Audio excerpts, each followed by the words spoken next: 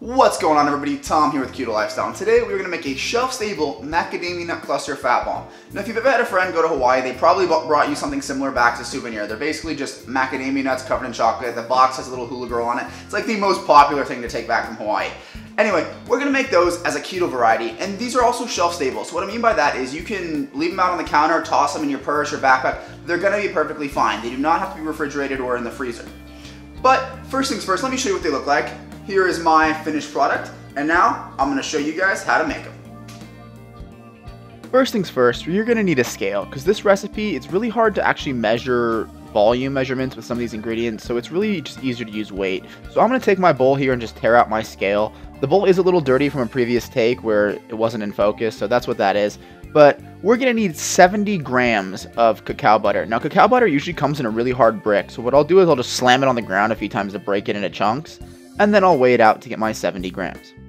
Now you are going to need to melt this, whether you do that in the microwave or on the stove top, just get it melted and back in your bowl. To that, we are going to add 30 grams of unsweetened cocoa powder. You can use Hershey's brand, or if you can find one with a lower carb count, go for it. Just make sure that it's unsweetened. To sweeten this up, we're going to be using confectioner's erythritol. Now, I understand that what I have here is not confectioner's, which is why I put it in my food processor and pulsed it. But it's a lot easier if you just buy confectioner's erythritol. And for that, we are going to need 25 grams.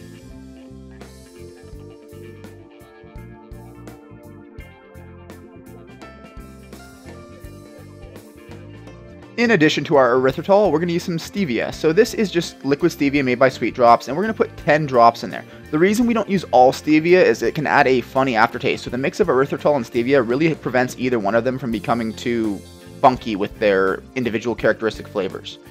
Now we are going to mix this up, and you're going to keep mixing this until it thickens up a bit. Now I'm on a granite countertop using a glass bowl, so it actually is going to thicken pretty quickly.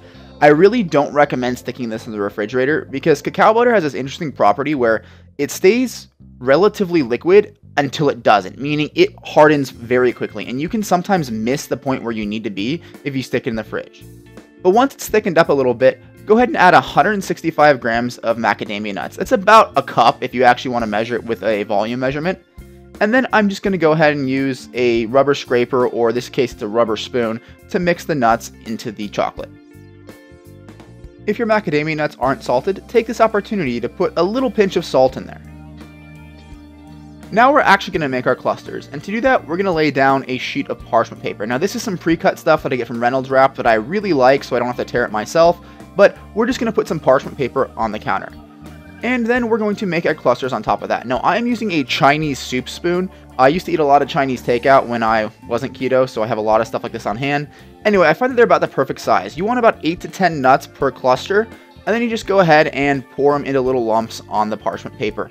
Now, they will take a bit to cool. I'd say probably give it an hour or so. They will be cool to the touch before them, but it won't be nice and brittle like you want it when you snap a piece off.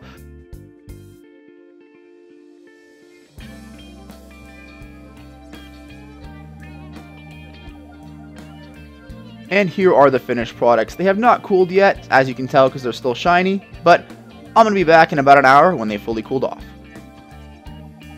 Now that you guys have seen how to make it, it is time for the taste test. But first I just wanted to show you, now I've had this one in my hand for about three to four minutes now because I've had to reshoot this clip a few times. You can see on my fingers, it's not melting. And that's just one of the properties of cacao butter. That's why I'm using it for this, is because it doesn't melt very easily. Now if you get to like 100 degrees for a while, it probably will. But in your hands, you're gonna be fine. In your purse, in your backpack, it's gonna be fine. But now, it's time for the taste test.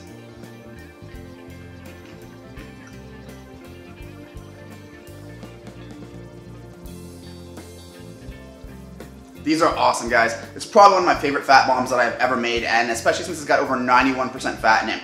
Now, they are salty, they're just chocolatey enough, you get the crunch of the macadamias, there's just such a wide variety of flavor and texture that this really satisfies me when I'm feeling hungry. So if you guys want to make these, check out the description box. There will be a link to the recipe as well as the macros and anything else you need. If you have any questions or comments, leave them in the comment sections. And if you have not subscribed yet, do me a huge favor, guys. Hit that subscribe button. Helps me out a lot, and you get to see more awesome recipes like this. But with that, I will see you in the next one.